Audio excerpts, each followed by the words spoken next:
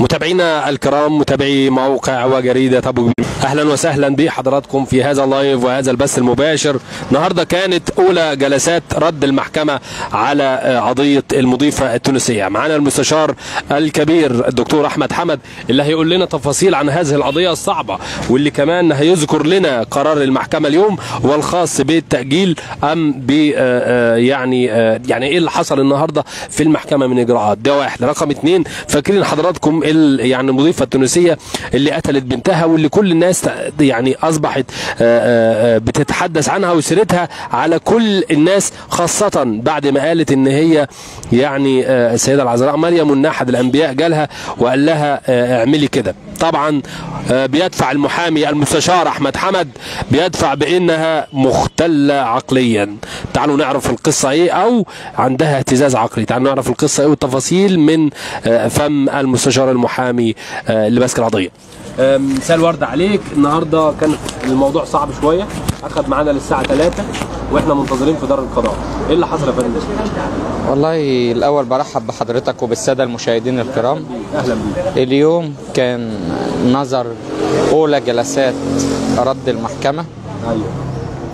طبعا كان من ضمن أسباب الرد هو رفض طلبي بعرض المتهمة على لجنة من خارج مستشفى العباسية. آه.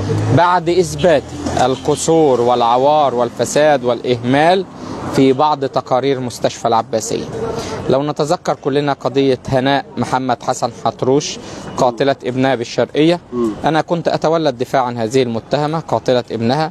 وطلعتها براءة رغم إن تقارير مستشفى العباسية جاءت تؤكد أن المتهمة سليمة ومتماسكة ومسؤولة عن الفعل الإجرامي لأني حينما طعنت على تقارير مستشفى العباسية بالتزوير وطالبت بعرض المتهمة على لجنة من خارج مستشفى العباسية تم تشكيل لجنة بناء على قرار المحكمة من جامعتي الزقازيق والمنصورة وأكدوا في تقريرهم على أن المتهمة مريضة نفسيا وغير مسؤولة عن أي فعل إجرامي على عكس كل تقارير مستشفى العباسية.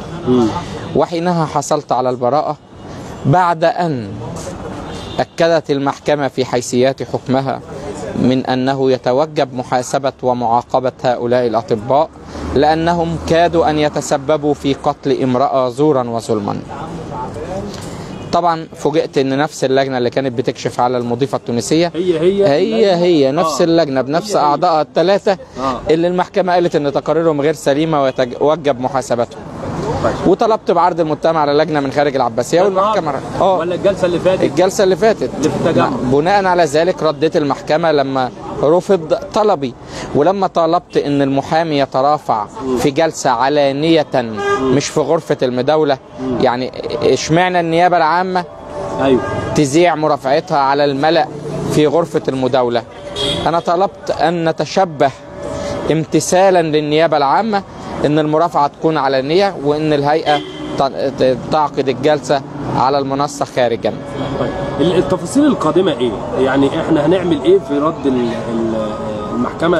آه، إذا إذا ردت المحكمة بالقبول أو بالرفض.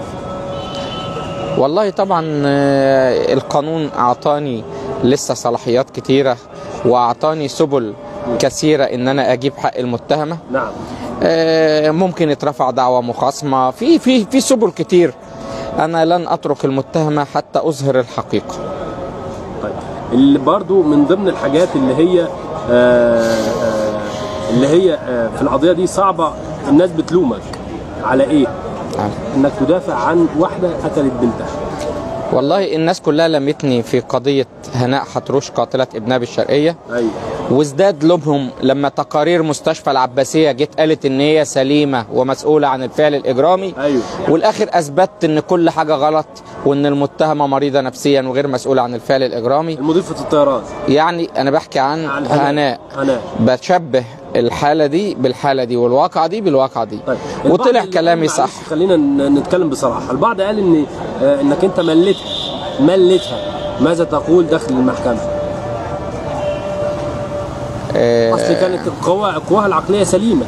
مين اللي قال. سليمة يا بيه معايا فيديوهات لها من سنة واثنين وثلاثه وريتها لكم وعرضتها للسادة المشاهدين آه. وهي بتكلم نفسها لو تحبوا تسمعوها آه. واحدة بتقف قدام المراية تصور نفسها وهي بتتكلم فيديوهات وبتقول كلام غير مفهوم من سنة. واثنين وثلاثه آه. إزاي تقولوا إن هي سليمة آه. واحدة حاولت الانتحار بعد ما قتلت بنتها إزاي تقولوا سليمة واحدة الشهود والزوج جم في تحيات النيابة قالوا إن هي دايما تكلم نفسها وغير طبيعية. إزاي تقولوا إن هي سليمة؟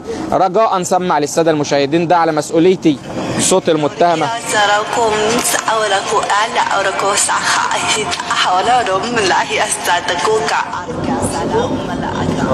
تمتمة تمتمة.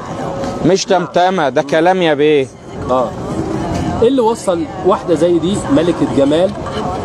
نحن إحنا سمعنا كده سمعنا كده طيب. إيه اللي وصل أنا بوصل-؟ اتفضل. إيه اللي وصل واحدة ملكة جمال زي دي تقتل بنتها مريضة نفسيا يا بيه وغير مسؤولة عن أفعالها يا بيه واحدة غير طبيعية واحدة حاولت تنتحر وتطعن نفسها بسكين طعنات نافذة طعنات قاتلة طعنات مميتة مش بتعور نفسها يا بيه لحقوها على آخر لحظة مجنونة هبلة يا بيه مجنونة. أيوه. طيب ال- ال- اللي انت طلبته برضه واللي دايما بتطلبه آه تاسيسا على قضية هناء حتروش. أول ما يبقى في أحمد حمد في القضية لازم يطلب آه تحويلها للجنة خماسية من خارج العباسية. لو السبب شعرت؟ لو شعرت إن المتهمة مريضة بطلب عرضها. عندي قضايا كتير جدا قتل في أسيوط وفي سوهاج وفي قنا وفي الإسكندرية. لم أطلب عرض المتهمين على لجنة سواء من العباسية أو من خارج العباسية.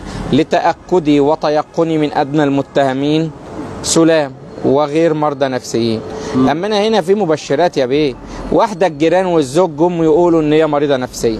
واحدة معايا فيديوهات لها من سنة واتنين وهي بتقف قدام المراية تكلم نفسها. ما نكشفش عليها يا بيه. ما نديهاش حقها يا بيه مين يقول إنسانة طبيعية اللي قتلت بنتها بدون سبب؟ قولوا لي إيه السبب وأنا هعترف بالجريمة وهعترف بالواقع وهعترف إن هي سليمة. إيه إيه السبب؟ إيه الملابسات؟ هل في مشاكل بينها وبين زوجها؟ لا. لو أنت اطلعت على ملف القضية كانت لسه علاقتهم زي الفل 10 على 10 أيوه. هل في مشاكل مادية مش قادرة تأكل البيت؟ لا ظروفها المادية دي كويسة. مضيف الطيران. الكلام ده كله كلام مرسل غير حقيقي. المتهمة من وجهة نظر الدفاع أحمد حمد مريضة نفسيا توليت عدة قضايا سابقة آه، منها هناء حتروش قاتلة ابنها بالشرقية وأكدت إن هي مريضة وأثبتت إن هي مريضة نفسيا وغير مسؤولة عن الفعل الإجرامي طيب برضه خليني دخلنا في يعني مجريات الأمور شوية. ليه ما حدش من الأسرة جه مع مضيفة الطيران يحضر معاها الجلسات؟ اتفضل. أنا بأكد لحضرتك إن الزوج يكفي حضوره أمام هيئة المحكمة ويقر ويعترف. الزوج أكد وقر واعترف إن مراته مريضة نفسيا وغير مسؤولة عن أي فعل إجرامي. عايزين إيه تاني؟ الزوج اللي قتلت ابنته أكثر واحد. حضر هنا على ال- القاهرة. حضر يا فندم جناية القاهرة و- و- وطلب من القاضي إنه يتكلم وأكد إن هي مريضة نفسيا. إيه اللي جاي للمستشار أحمد حمد؟ الدكتور أحمد حمد. إيه اللي جاي؟ اللي جاي إحنا نعمل في, إيه يعني؟ في انتظار إن شاء الله قرار المحكمة وعندنا ثقة مطلقة في قضاة مصر أيوه. إن هيساعدونا في كشف الحقيقة. وأنا جايب مستندات رسمية هو أنا جايب أتكلم كلام مرسل. آه. أنا جايب مستندات تؤكد إن هؤلاء الأطباء تقاريرهم غير سليمة. اعرضوها على لجنة من خارج العباسية. ادي اللي بنطلبه ده تاسيسا على قضية هناء حتروش صح؟ مش كده بس وبرضه طلب الرد إن أنا الجلسات بتاعتي اشتغلت في المداولة والنيابه العامة اترفعت أمام الملأ. ده ليه كده. إشمعنى. يعني أنا أخش غرفة المداولة أترافع وأتكلم وهم يذيعوا أخبار